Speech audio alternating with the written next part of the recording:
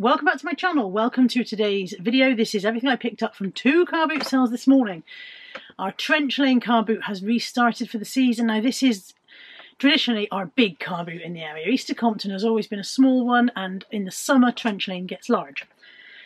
Didn't really run last year at all. It didn't run the year before, I think, because of COVID. And then last year it never really got started. It had about three or four stumbling attempts at a car boot that were all a bit disappointing. So good to have it back. Although obviously it was small today because it's the first day. They don't advertise it brilliantly, so it takes a while for people to know it's happening.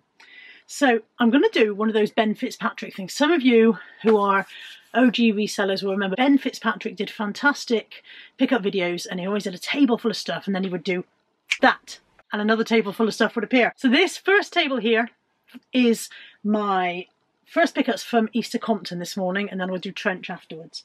So I got these two tops. These are for me. Love a bit of animal print. Woman of a certain age, love a bit of animal print. It is a zebra print in khaki. It's from Capsule, which is catalogue company. Buy that through Simply Be and places like that.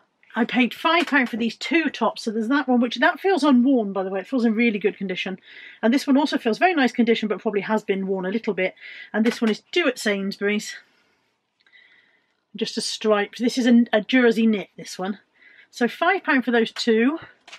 I've recently had a clear out and got rid of some more of my clothes, so always good to get more. Plus, now that I can buy clothes more easily, I'm very much enjoying shopping more. Okay, in no particular order then. 50p for a slow down you greedy bastard dog bowl. We had one of these for Molly when she was a puppy. They work an absolute treat and, and they always sell reasonably well. 50p, that'll sell for five, six pounds, so they're happy with that. Just a bread and butter pickup. He was free. When I bought the Qwirkle, which you'll see in the back there, the guy said, oh, you can have that for nothing. So he does need a wash. He's a bit grubby. Um, what brand are you? He's got a tag, but no brand tag. But yeah, he's got to, got to go through the wash, but he, he cost me nothing. Five pounds for these two items. I got this floral kettle. I think it's just a Chinese brand, but I thought it was quite nice. It's um ceramic, ceramic electric kettle. And the brand is, um, you watch me butcher this now, Yahweh City Wyco Electrical Appliance Company. I am sorry to those people for getting your name so horribly mispronounced. But yeah, that was, it was £5 for this and the phone that's coming up next. So there's that one. So the other thing that was in with the fiver is this BT home phone with answering machine, the Decor 2500. And it is the same one in the box as on the front of the box, which is not always the case when you pick them up at car boot sales. You quite often find that when people have bought themselves a new phone, they've chucked the old phone into the new phone's box and taken it to car boot sale. But that is the correct one in the box. Um, not sure. Bear with. 16.99 for that they're going for, so that's okay. Those two things for a fiver. Happy with that. Okay, £2 from the same lady for this pair of Skechers. She had £2 on all of her shoes. So they are Skechers Relax Fit Air Cooled Memory Comb. Memory Comb? Memory Foam, not Memory Comb. What will a Memory Comb do? Remember which style you liked your hair and do it for you. Anyway, £2 for those.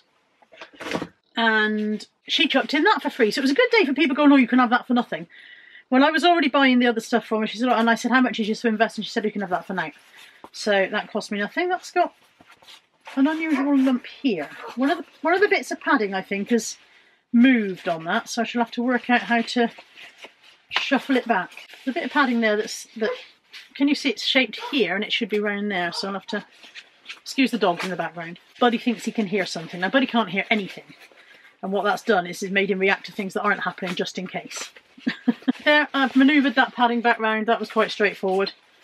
So yeah, that didn't cost me anything. These sell for about seven or eight quid. So again, it's a bread and butter item, and if it costs you nothing, then not to be sniffed at. And then I paid one pound for this Your Evening Class French course. This was from Sarah, who does the car boot with Steve, the car boot guy.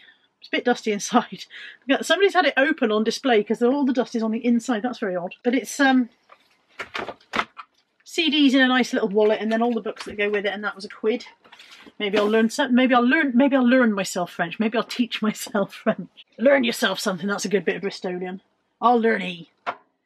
I paid. This this was a charity stall for Blonde Angels Street Team. They go out and they um, distribute stuff for the homeless people. And this particular stall, she raises the money and then she invests it in Greggs cards and gives them to the Street Angels team, and they give them out, which is something that I did last year. You may have seen the video for that. I put the video out in February, I think, for all the money I'd found last year. I think it's a, it's a nice way, and I was talking to the lady about. It, it's a lovely way to be able to help homeless people while still giving them some autonomy of choice. That it's nice just because you're homeless doesn't mean you have to have a ham and cheese sandwich because that's what someone decided you should have. Why shouldn't you have the, the um, choice to go in and choose the item of food that you want? So, um, so yeah, that's a, a, useful thing to be able to do. So I'm pleased to be able to support those people. Now, I know Josh bought some stuff off there. She wanted 50p for the two, so obviously I said no. I'll give you, you know, I'll give you a bit more. So, so uh, pocket Scrabble, and this is an interesting mug. It says runner beans on it. Let me just drop that. It says runner beans, and it is actually beans running, and it is by Minter Kemp. I have no idea of value on that one at all but it was cute. This went into Josh's filler bag. I didn't do filler bag because there wasn't anything to interest me apart from this. So this went into Josh's filler bag, cost me nothing, but I did get Josh some Bohemian crystal or some, some kind of crystal cut glass, salt and pepper from another store for a quid. So, you know, we're we're all good. We balance out. 50p for a boggle. That is new and sealed. That has never been out of its wrapper. Was it 50p or was it a pound? It was a pound. I'm telling you lies. It was a quid. And a quid for this Molton Brown it's not going. That's not going to focus. I don't think. Oh, there we go. Delicious rhubarb and rose hand lotion. I don't think it's been opened yet. There's absolutely nothing in the pump. Can you see the end of the pump there? There's nothing in there, so that's not been pumped at all. And £2 for a potato ricer. If you saw one of my videos last week in which I was making mashed potato, you'll know that I think every home should have a potato ricer. They change your life. They definitely change your mash. This one has two different size discs in there. So you choose which size of disc you want. And then you pop the spuds in, squeeze them through, and you get smooth mash with no lumps. So that was £2. I couldn't find a brand on that. Unbranded. Another bag. It was very nice to bump into a viewer today. I didn't ask her name, but I think her husband called her Shelley. So hi Shelley, nice to see you. Um, I bought three pairs of shoes from her husband. She put her husband in charge of the shoe department. He looked absolutely horrified. He, he was like, I don't think this is my department at all. But, um, he asked for £10 for these three pairs. So I've got a pair of Jack Wolfskin boots. Uh, I think they're ladies because they've got pink trim on. Not that, you know, you do you. You wear whatever bloody colour you want, mate. But also, I, I, don't think they're a massive size. So they're a UK 8, which also implies that they're probably a ladies because men's 8s are less common. So Jack Wolfskin boots and a pair of Hotter Mary Jane style. What name are these? All Hotter shoes have a name inside. These are called Wiltshire and they're a standard fit. There we go. In a kind of a corally rusty colour. Hmm. And then also from that same lady and gentleman, these are Clarks Artisan heeled shoe boots. Boots. Shoots. Boot shoes. So, lovely to meet you guys. Thank you for those. One pound from another store for this pair of M&S Peep Toe Suede Summer Cork sandals. Did quite a shoey day. I go months without buying any shoes. Three pound from the house clearance guy for this Radley bag. I'm not 100% sure it was worth my three quid. It's a little bit tired, aren't we all?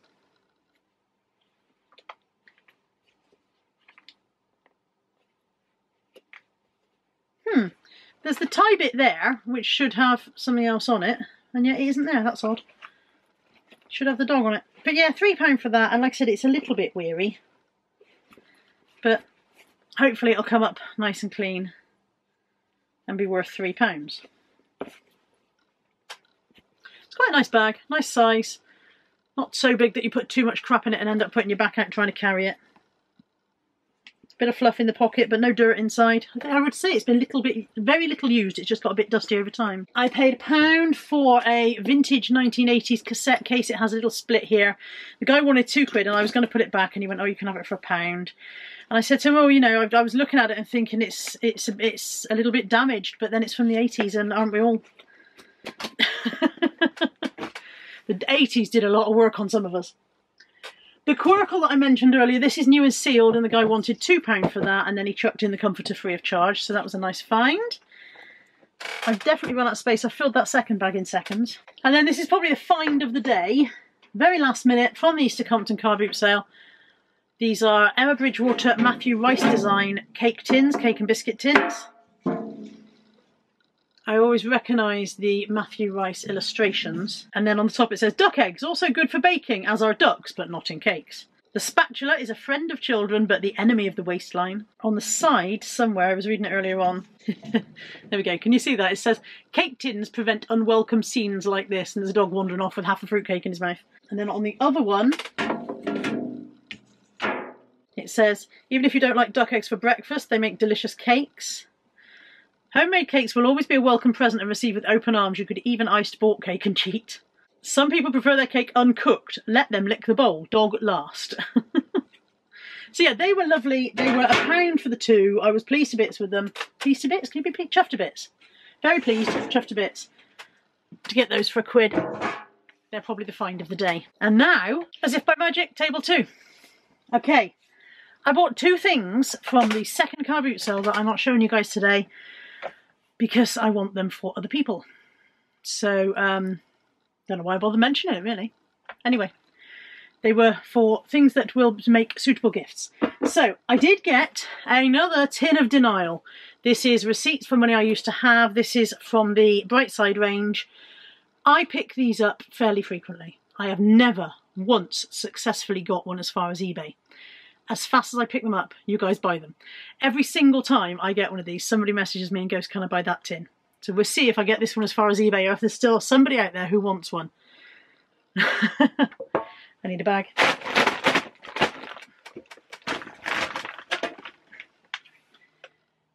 I got this genie bottle.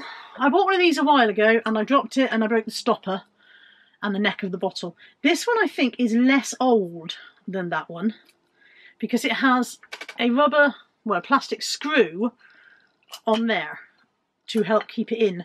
And I don't think, I think that probably denotes that it's not that old. It says on the bottom, Depose. So let me have a quick look it up. Oh, look at that. £22, the very first, the very first result that comes up at the top there, £22. And then somebody sold two for £95. So I take it all back. I am very pleased with it. It's not a piece of rubbish. Chuffed to bits with that. Someone sold one for $44.99. Does that plastic screw top not mean that it's that new then? Don't know. Don't know. I paid, drum roll please, one pound. And this was after Josh had walked around and gone, there's nothing here. Something else that wasn't there because there was nothing there is a rather nice number of Denby mugs. These are the Imperial Blue, and I've forgotten what this shape is called. I have got I'm asking for trouble stacking them, aren't I? You watch me smash them now. You know I always smash stuff. I've got seven of this shape. Would have had nine, but there was another lady standing there and she said to me, Did you want all of them? Because my son's just moved into house and he'd love a pair. And I was like, Absolutely, you buy a pair. You do not need I do not need all of them. So they were the lady was asking two pound per pair. So I've got nine sorry, seven of that shape two of this shape, slightly different. And then she also had this one, which I made up the extra pair with. So this is a Johnson Brothers Born to Shop, and it says, I no longer skinny dip, I chunky dunk. That's a bit accurate. And it comes with the lid, which becomes a coaster. So 10 quid for all of those mugs. That was a very, very nice pickup. And I was more than happy for the lady to have the two that she wanted. There really isn't any need just to hoover it all up and not let anybody else have any, is there? However, whether I can put them away without turning them into mosaic, whole other story. Last time I had one of these, I broke it. Let's put that somewhere safe. So yeah, that, so yeah, that was lovely for a tenner. That was a nice tenner's worth. And then the only other thing that I bought at that boot sale, I said, apart from the two things that I don't want to show you, was this Evans winter coat. It's in very nice condition. Got all its buttons, all its poppers are, are there, it zip works. lady wanted £4, I didn't even bother haggling, I thought £4 was very reasonable. I think it's a size 26, was it a 26? 24. So it might fit me. I don't really need a winter coat if I'm honest, especially not since we're not about to just have summer. it would fit, it would be a bit snug. Unfortunately, I'm at the point now where I'm a 20 here and still a 24 down there. The, um, the old pear-shapedness is becoming more and more obvious. But it is a nice coat. It was £4. Smells okay, you know, it hasn't been stored for ages. Sometimes they smell a bit fausty. So I might, might list that straight away. I might wait and list it closer to winter because at the end of the day, once it's on, you can forget about it, can't you? That's it. That is the haul and all of the haul. I'm very pleased with everything I've got today. I thought I think I've done really, really well. I had to go to the cash point. I had to, I had to mug Josh at one point for 20 quid to pick up something for Lex um, because I hadn't taken enough money with me. And I, and I, I said to Lex, "Do you want this?" And she said yes. And so I had to mug Josh for money. Bless him, he takes a lot of money to the car boot, even though he doesn't want to spend it. And um, and then I had to go to the cash point in between car boots so that I could pay him back and get more cash for the second one. But I'm really, really pleased with with my pickups today. Gonna have to have a bit of a listing drive at some point and and fire through and get some more stuff on because I'm not listing as fast as I'm buying. Thank you for joining me, and I will see you soon. Take care. Bye for now.